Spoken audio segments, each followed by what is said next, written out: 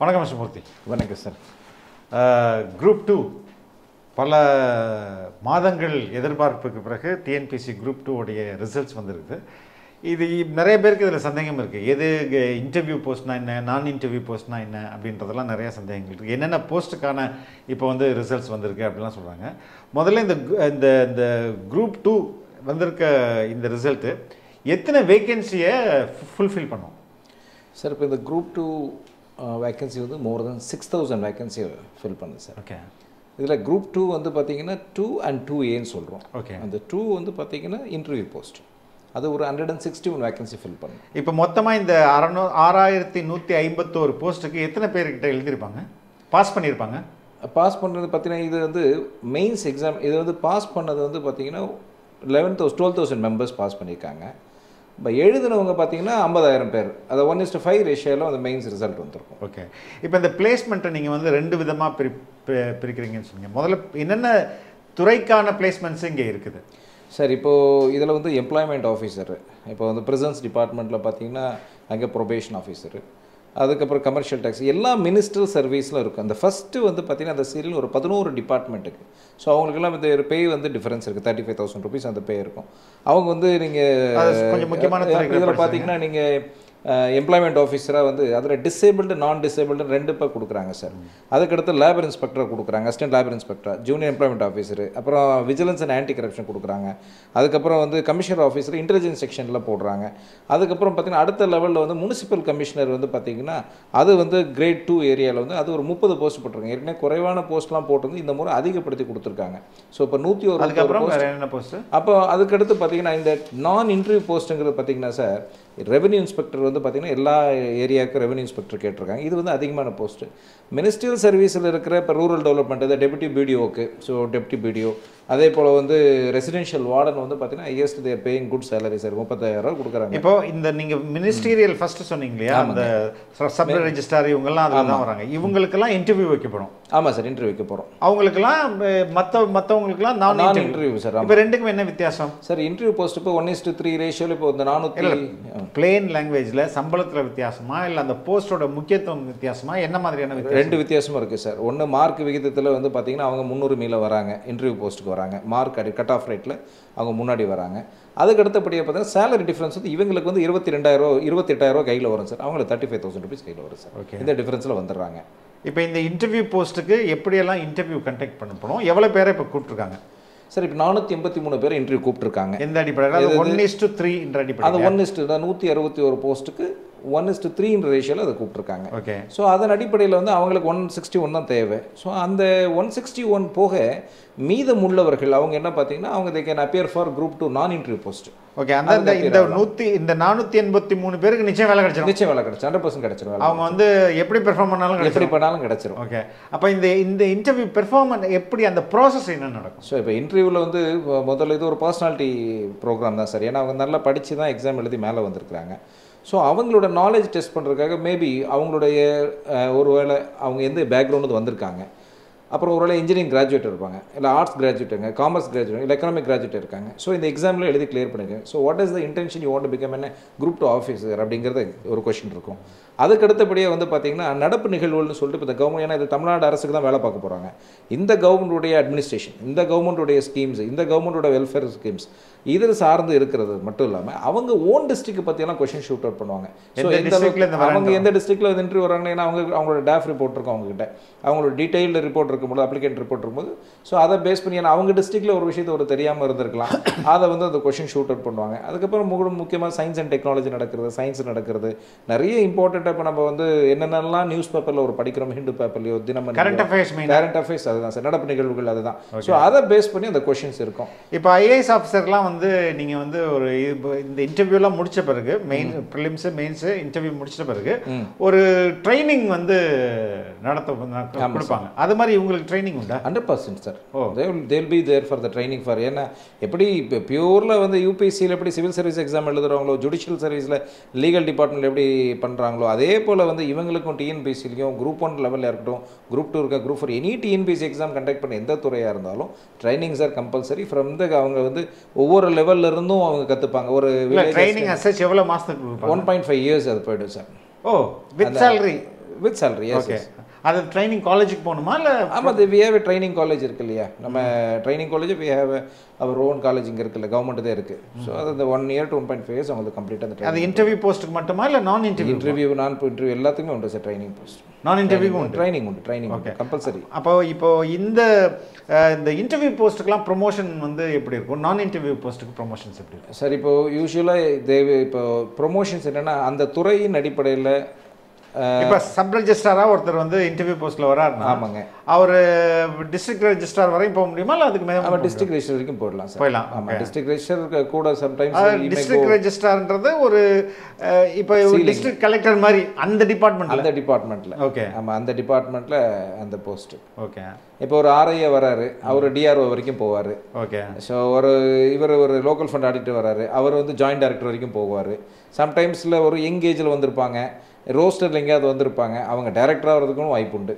Okay so இது it's based upon the purely on the performance sir performance and ஏஜா performance young ஏஜில் வர்றவங்க ஒரு ஏன்னா இப்போ ஒரு அவங்க ரிட்டையர்மெண்ட்டு சிக்ஸ்டீன்னா அந்த யங் ஏஜில் வர்றவங்க they can attain the post okay இதுல வந்து ஏஜ் லிமிட்லாம் பார்த்து கொடுப்பாங்களா? இல்லை பியூர்லி மார்க் மட்டும்தானா? இது பியூர்லி மார்க்ஸ் மார்க் தான். Mark and reservation purely mark and reservations அந்த கட் ஆஃப் இப்போ இந்த கட் ஆஃப்னு சொல்லுவாங்களே இப்போ எந்த அளவுக்கு இந்த குரூப் டூல கட் ஆஃப் இருக்கு? சார் யூஸ்வலி கவர்மெண்ட் வந்து பார்த்தீங்கன்னா 90 எடுத்தா பாஸுங்கிறதா அரசாங்கத்தோட இது சார். தொண்ணூறு எடுத்தா பாஸ். ஆனால் வந்து என்னன்னு கேட்டிங்கன்னா இப்போ ஒரு தொண்ணூறே ஒரு பத்தாயிரம் பேர் எடுத்துதானா தொண்ணூறு அது அந்த அடிப்படையில் தான் யார் அதிகமாக எடுக்கிறவங்களோ அவங்க வருவாங்க. இப்போ இரநூறு கொஷின் இருக்குது முந்நூறு மார்க்கு சார் இரநூறு கொஷின் ஒரு கொஷினுக்கு one point five mark okay இந்த இரநூறு கொஷினில் வந்து யாரெல்லாம் வந்து நூற்றி நாற்பத்தெட்டு நூற்றி ஐம்பது நூற்றி நூற்றி நாற்பத்தி நாலு வந்து நூற்றி ஐம்பது வரைக்கும் வர்றவங்க ஒரு கட் ஆஃப் எடுத்துப்பாங்க சார் அதில் வந்து ஜென்ரல் டர்னு பிசி எம் பிசியில் எம் முஸ்லீம்ஸ் கடைசி ஒருத்தர் இரநூறு மார்க் இருக்கு நூத்தி அறுபது எடுத்துட்டாரு இல்லை நூத்தி எண்பது எடுத்துட்டாருன்னு வைங்களேன்.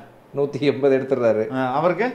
நூற்றி எண்பது எடுத்து அவர் தான் டாப்பில் இருப்பார் சார் ஓகே அவர் தான் நம்பர் ஒன்ல இருப்பார். அப்புறம் ஆட்டோமேட்டிக்காக அவர் தான் ஃபஸ்ட்டு ப்ரையாரிட்டி அவருக்கு தான் கொடுப்பாங்க அப்படின்னா அவர் ஜென்ரல் டர்னில் வந்துடுறாரு. அவர் எந்த இடத்துலையுமே அவருக்கு பேரிகேடே இல்லையே. Easily will be placed anywhere அப்போ இந்த இந்த இந்த குரூப் டூவை பொறுத்தவரைக்கும் எந்த சிலபஸ் அதாவது அஹ், இப்போ காலேஜ் லெவலில் உள்ள சிலபஸை வச்சு நடக்குமா? எந்த சிலபஸ் வச்சு நடக்கும்? சார் டிகிரி ஸ்டாண்டர்ட் தான் சிலபஸ் சார் ஆனால் வந்து என்னன்னா குறிப்பாக வந்து இப்போ ஒரு சி மேக்ஸ் இது போன்ற ஆப்டிடியூடுன்னு சொல்லுவாங்க. மேக்ஸ் எல்லாம் வந்து ஸ்கூல் லெவலில் டென்த் ஸ்டாண்டர்ட் லெவலில் தான் சார் இருக்குது இங்கிலீஷ் இருக்கிற பேப்பரும் டென்த் ஸ்டாண்டர்ட் லெவலில் தான் இருக்குது அதுக்கப்புறம் எல்லாமே டிகிரி ஸ்டாண்டர்ட் தான். ஆனால் பெரும்பாலான உங்கள் சிலபஸ் என்னென்னா எஸ்சிஆர்டி சிலபஸ் அதாவது தமிழ்நாடு அரசுடைய பள்ளி பள்ளிக்கல்வித்துறையில் வர பாடசாலை அதில் வர எஸ்சிஆர்டி புக்ஸ் இருந்தாலே போதுமானது. அது இல்லாமல் grade six to grade twelve sir அதில் வர ஹிஸ்ட்ரி ஜியாகிரஃபி பாலிட்டி எக்கனாமிக்ஸு அதுக்கப்புறம் news paper current affairs maths English இது எல்லாம் படித்தால் தமிழ் குறிப்பாக வந்து கட்டாயமாக தமிழ் வந்து கட்டாய தமிழ் இருக்குது ஏன்னா எலிஜிபிலிட்டி மார்க்ஸ் நூறு மார்க் கொடுக்குறாங்க அது. அதனால் கம்பல்சரி தமிழ் சார் இப்போ இந்த நான் இன்டர்வியூ போஸ்ட் இருக்கு இல்லையா? இவங்களுக்கு இந்த இதில் பாஸ் பண்ண எல்லாருக்குமே வேலை கிடைச்சிருமா? இவங்களுக்கு எப்படி? நான் இன்டர்வியூ போஸ்ட்டில் பாஸ் பண்ணிருக்கு இப்போ கூப்பிட்டுருக்கிறது வந்து டுவெல் தௌசண்ட் மெம்பர்ஸ் கூப்பிட்ருக்காங்க சார் டுவெண்ட்டி மெம்பர்ஸ் கம்மியாக வந்து eleven thousand nine eighty members கூப்பிட்ருக்காங்க அது இதில் வந்து ஒன் இஸ்ட் டூன்னு ஒன் கூப்பிடுறாங்க இஸ்டி டூ ஒரு போஸ்ட்டுக்கு ரெண்டு பேரை கூப்பிடுறாங்க. அது இன்டர்வியூ கிடையாது சார் ஆக்சுவலாக பார்த்தீங்கன்னா அதில் என்னன்னா அப்படியே இதை அது என்னன்னா ஒருத்தர் ஒரு வேளை திடீர்னு வந்து அவரோட சர்டிஃபிகேட்டில் ஒரு பிரச்சனை வரும். ஒருவேளை அவர் வந்து டாக்குமெண்ட்ஸ் இருக்காமல் இருக்காது. அதெல்லாம் வேற ஏதோ ஒரு காரணங்கள்ல வந்து அவர் விடுபடுறாரு. அப்படி அப்படியே அது வந்து மேலே டாப்பில் அப்படியே வந்துட்டு கீழே இருந்து ரிஜெக்ட் ஆகிடும் சார் ஓகே இதுதான் அப்படி தான் நடக்கும். இந்த பர்டிகுலர் இந்த இந்த இன்டர்வியூ ப்ராசஸ் நீங்கள் சொன்னீங்க இது சிவில் சர்வீஸ் மாதிரி ரொம்ப இன்டென்சிட்டிவாக இருக்குமா? இல்லை ரொம்ப டிஃபிகல்ட்டான கேள்விகள்லாம் கேட்பாங்களா அப்படி? சார் இப்போது எங்கேயுமே இன்க்ளூடிங் யூபிஎஸ்சி கூட சார் எவ்வளோ நேரம் நடக்கும் அந்த இன்டர்வியூ அது சொல்லுங்க. Hardly ten to twenty minutes அவ்வளோதான் அவ்வளோதான் ஏன்னா அந்த கேண்டிடேட்ஸ் ஆர் ஹை இது. So hardly ten days it they will take okay ஏன்னா ஆல்ரெடி இந்த ஏற்கனவே இந்த ப்ரோக்ராம் ரொம்ப நாளாக இழுத்துருச்சு இது ஏன்னா பிப்ரவரி டுவெண்ட்டி வந்துருச்சு. ஆமாம் அது ரொம்ப நாள் நடந்தது. ஸோ எனக்கு தெரிஞ்சு ten ten to minimum ten to ஒரு டுவெண்ட்டி மினிட்ஸ் சார் ஸோ இன்ட்ரெஸ்டிங்காக ஒரு கேண்டிடேட் ஒரு ரொம்ப நிறைய இன்ஃபர்மேட்டிவாக இருக்காரு. அப்போ பேனல் வந்து ரொம்ப விரும்பி அவர்கிட்ட கேட்குறாங்க they will allow him to another five minutes more also okay இந்த பேனல்ன்றது டிஎன்பிசி பேனலா இல்லை வேற பேனல் டிஎன்பிசி பேனல் வந்து பார்த்தீங்கன்னா இப்போ ஒரு டிபார்ட்மெண்ட் இருக்கும். அந்த டிபார்ட்மெண்ட்ல இருந்து பேனல் போடுவாங்க. இன்னைக்கு ஒரு பேனல் இருக்கும் நாளைக்கு ஒரு பேனல் சப்போஸ் ஃபார் எக்ஸாம்பிள் நீங்கள் வந்து பிரிசன் பிரசன்ட்ல இருந்து பிரசன்ட் டிபார்ட்மெண்ட் பிரிசன் டிபார்ட்மெண்ட்லேருந்து ஆட்கள் பிரசன்ட் அன்னைக்கு பிரசன்ட்கான இன்டர்வியூ வந்து ஒரு இப்போ கட் ஆஃப் மார்க் அதிகமாக வச்சிருக்காங்க. இப்போ வந்து ஒரு உதாரணம் அஞ்சு பேனலில் பத்து பேனல் போடுவாங்க சார் ஏன்னா இன்னைக்கு ஒரு பேனல் இருப்பாங்க நாளைக்கு ஒரு பேனல் இருப்பாங்க. ஸோ யாருக்கு எந்த பேனல் வரான்னு தெரியாது. இப்போ மினி செக்ரட்டரியேட் சர்வீஸ்னு வருவாங்க. இப்போ ரூரல் டெவலப்மெண்ட் வருவாங்க. லோக்கல் ஃபண்ட் டிவிஎஸ்சின்னு ஒரு ஆமா அப்போ அதுலேருந்து ஒரு அதுலேருந்து பார்த்தீங்கன்னா அந்த விஜி விஜிலன்ஸ் கமிஷன் அதுலேருந்து ஒருத்தர் வந்து பார்த்தீங்கன்னா அது டிபார்ட்மெண்ட் சம்மந்தமான சில கொஷின்ஸ் ஃபண்டமெண்டலாக கேட்பாங்க. இப்போ ஃபண்டமெண்டலாக கேட்பாங்க. யாரையும் ஹர்ட்லாம் பண்ண மாட்டாங்க. ஃபண்டமெண்டலாக கேட்பாங்க. ஸோ அந்த ஏன்னா அவங்க படித்த சிலபஸ்ஸு இவங்க நாளைக்கு பொதுமக்களுக்கு வேலை செய்ய போகிறது துறையின் சார்ந்து தான் கேட்க போகிறாங்களே தவிர அப்படி வர்றவங்க வந்து அங்கே யூபிஎஸ்சி எழுதி குரூப் ஒன் ஆஃபீஸராக இருக்கவங்களால இல்லை டிஎன்பிசியில் குரூப் ஒன்னோ குரூப் டிஎன்பிசி லெவலில் டிஎன்பிசி குரூப் ஒன்ல வந்து ஆஃபீஸர் ஆனவங்க வருவாங்க சார் ஓகே ஓகே அப்படிதான் வருவாங்க. சம்டைம்ஸ் இது depends upon the TNPSC decision okay okay அந்த மாதிரி அதே மாதிரி இந்த இந்த பர்டிகுலர் ரிசல்ட்டு கிட்டத்தட்ட ஓராண்டுகளுக்கு மேலே டைம் எடுத்துக்கிச்சு. என்ன ரீசன் இருபத்தி மூணு மாதங்கள். ஆமாம் சார் இப்போ அஹ், எல்லா எக்ஸாம்ஸும் அப்படி நடக்கல. இப்போ முதல்ல என்ன சார்னா இந்த டிஎன்பி இருபத்தி ரெண்டுல ஃபர்ஸ்ட் நோட்டிஃபிகேஷன் ரெண்டாயிரத்தி இருபத்தி இருபத்தி ரெண்டு பிப்ரவரி பிப்ரவரி மாதம் மாதங்க ரிசல்ட் வந்து ரெண்டாயிரத்தி இருபத்தி நாலு ஜான்வரி மிட்னு வச்சுங்களேன். அப்போ ஆல்மோஸ்ட் ரெண்டு வருஷம். சார் இப்போ முதல்ல டிஎன்பிசி குரூப் டூ எக்ஸாம்னா இன்டர்வியூ போஸ்ட்னா ஒரு ப்ரிலிம்ஸ் இருக்கும் ஒரு மெயின்ஸ் இருக்கும் சார். ஓகே. அதே நான் இன்டர்வியூ போஸ்ட்னா ஃபர்ஸ்ட் ஒரு ப்ரிலிம்ஸ் அப்ஜெக்டிவ் டெஸ்ட்லயே அங்கேயே மார்க் முடிஞ்சு பாஸ் ஆயிடுவாங்க சார். இவ்வளோ தான் டிஃபரன்ஸ் இருந்தது. இல்லை இல்லை ஃபர்ஸ்ட் இன்டர்வியூ போஸ்ட் TNPSC தனியா அப்படின்னா அப்படின்னா எக்ஸாம் வந்து ப்ரிலிம்ஸும் இருக்கும். ப்ரிலிம் இன்டர்வியூ போஸ்ட்டுக்கு ப்ரிலிம்ஸ் மெயின்ஸ் இன்டர்வியூ இருக்கும். அப்படிதான் இருந்தது சார் நான் இன்டர்வியூ போஸ்ட்டுக்கு வெறும் ப்ரிலிம்ஸ் அப்ஜெக்டிவ் எக்ஸாம்லயே சார் அவ்வளவுதான். அவ்வளோதான் Main எல்லாம் கிடையாது. மெயின் கிடையாது. ஓகே லாஸ்ட் லாஸ்ட் டென்னூர்னா இந்த இப்போ நடந்த வந்த ரிசல்ட்டுக்கு மெயின்ஸ் ஆட் பண்ணிட்டாங்க? ரெண்டுக்குமே? ரெண்டு ரெண்டுத்துக்கு சிமிலர் ரெண்டு இருக்கு. இப்போ இதுக்கு இன்டர்வியூ மட்டும் தான் கிடையாது அதுக்கு இன்டர்வியூ உண்டு. இவ்வளவுதான் சார் ஏன் டிஃபரன்ஸ் இப்படி ஆட் பண்ணாங்க? ஸோ இவங்க என்னன்னா இப்போ நியூ சப்ஜெக்ட்ஸ் ஆட் பண்ணாங்க. குவாலிட்டி ஆஃப் த எம்ப்ளாயியோட குவாலிட்டி இன்க்ரீஸ் பண்ணணும். அதுக்கப்புறம் மெயின்ஸில் வர முக்கியமான சிலபஸ் தமிழ் சார்ந்து இதெல்லாம் வந்து தெரியாமல் போயிடக்கூடாது. சயின்ஸ் அண்ட் டெக்னாலஜிலாம் ஆட் பண்ண எத்திக்கல் சம்மந்தம் தெரியாமலாம் போயிடக்கூடாதுன்றது அது ஆட் எடுத்த சிலபஸ் இதுதான் காரணம். இது ஒரு காரணம். இன்னொரு பக்கம் என்ன சார்னா மற்ற இதில் வந்து என்னென்னா இங்கே எல்லா பேப்பரையும் ஸ்கேன் பண்ணுறாங்க எக்ஸாம் முடிச்ச உடனே ஸ்கேன் பண்ணுறாங்க இப்போ பெரும்பாலும் எல்லா ஸ்டூடெண்ட்ஸுமே தன்னோட ரிசல்ட்டை வந்து கேட்குறாங்க மெயின்ஸ் எக்ஸாம் எழுதுன பேப்பர்லாம் டவுன்லோட் பண்ண அதில் என்ன கவர்மெண்ட் என்ன பண்ணுறாங்க they take a time for scanning அதுக்கப்புறம் அவங்க அப்ளை பண்ண அது கொடுக்குற இதெல்லாம் எடுத்துக்கிறாங்க. இதனால தான் இவ்வளோ பெரிய கேப்னு என்னுடைய அசம்ஷன் சார் ஓகே இப்போ ஃபோர்த் கமிங் அடுத்து வரக்கூடிய எக்ஸாம்ஸ் எல்லாம் என்னென்ன மாதிரியான எக்ஸாம்ஸ் இருக்கு? என்ன எந்த டைம்லேருந்து இது ஆரம்பிக்கும்? ஸோ இப்போ வந்து எல்லாமே ஜூ ஜூலைலேருந்து ஸ்டார்ட் ஆகிடுது சார் நோட்டிஃபிகேஷன் எப்போ வரும்? நோட்டிஃபிகேஷன் எல்லாமே அந்த ஒரு ஃபார்ட்டி ஃபைவ் டேஸ் முன்னாடி கொடுத்துருவாங்க சார். யூஸ்வலாக notification forty five to to sixty days முன்னாடி கொடுத்துருவாங்க. இதில் TNPSC group one group two group four அதுக்கு பிறகு வந்து பார்த்தீங்கன்னா கம்பைன்டு இன்ஜினியரிங் சர்வீசஸ் அவங்களுக்கு கொடுப்பாங்க இன்ஜினியரிங் கிராஜுவேட்ஸ்க்கு ஸோ இதுதான் இந்த ஆனுவல் கேலண்டர் யூஸ்வலாக வந்து டிஎன்பிசி சிவில் ஜட்ஜி கொடுப்பாங்க இந்த வாட்டி கொடுக்கல. ஸோ இதெல்லாம் இந்த முறை கொடுத்துருக்கு சிவில் ஜட்ஜுக்கு கொடுப்பாங்க. அப்படின்னா சிவில் ஜட்ஜினா வந்து லாயர்ஸ்க்கு சார். ஸோ அவங்க வந்து லா கிராஜுவேட்ஸ் வந்து பார்த்தீங்கன்னா இந்த அசிஸ்டன்ட் பப்ளிக் ப்ராசிக்யூட்டர்ஸு. அதுக்கப்புறம் சிவில் ஜட்ஜ் எக்ஸாம் எழுதுறவங்களுக்குலாம் வரும். ஸோ அந்த calendars they may yet to release இப்போ வந்திருக்கு group one group two group ஃபோருக்கு அப்புறம் இன்ஜினியரிங் ஸ்டூடெண்ட்ஸ்க்கு வந்திருக்கு. இதுதான் இப்போ வந்திருக்கு. ஸோ பசங்க இதை ஃபோக்கஸ் பண்ணாங்க இதை கேன் கெட் சக்ஸஸ் இது. இதை வந்து எப்படி சார் கிராக் பண்ணுறது ரொம்ப ஈஸியா இல்லை? டஃப்பா ஏன்னா நீங்கள் இதை நீங்களாம் சொல்கிறீங்க கிட்டத்தட்ட ஐம்பதாயிரம் பேருக்கு மேலே எழுதுனாங்க. கிட்டத்தட்ட அதில் வந்து பன்னெண்டாயிரம் பேர் தான் பாஸ் பண்ணுறாங்க அப்போது ரொம்ப டஃப்பான எக்ஸாம் இது பெரிய காம்படிட்டிவ் எக்ஸாம் சார் இதை யார் நல்லா முந்துறாங்களோ அவங்க தான் ஜெயிக்க முடியும். வெரி சிம்பிள் சார் சிலபஸ் வந்து டஃப் கிடையாது.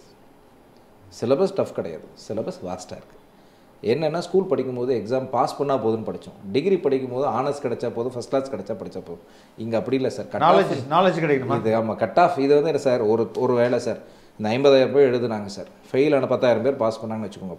மிச்சம் ஃபெயில் ஆனவங்க எல்லாருமே நாலேஜ் ஸ்டூடெண்ட் தான் சார் அதே அவங்க ப்ரைவேட்டில் அதே ப்ரைவேட்டுக்கு ட்ரை பண்ணாலோ வேறு எம்ப்ளாய்மெண்ட் ட்ரை பண்ணாலும் கூட டெஃபினெட்லி தேல் பிளேஸ்டு சார் அதில் வந்து அதனால் அவங்க வந்து எங்கேயும் இதை ப்ரிப்பேர் பண்ணதுனால ஒருவேளை ஏஜ் கூட ஆகும் டைம் வேஸ்ட் பண்ணணும்னு சான்ஸே இல்லை sir they've really achieved something ஏன்னா அது அது அவங்களுக்கு தான் தெரியும். ஏன்னா ஹானஸ்ட்டாக அவங்க உட்காந்து ப்ரிப்பேர் பண்ணியிருப்பாங்க அது இல்லாமல் அவங்க படித்தது ஒருவேளை அந்த எக்ஸாமில் ப்ரிப்பேர் பண்ண மறந்து எழுதும் பொழுது மறந்துருக்கலாம். இந்த மாதிரி சின்ன சின்னதாக இப்போ ப்ரிலிம்ஸ் மோஸ்ட்லி அப்ஜெக்டிவ் டைப்பாக தான் இருக்கும்.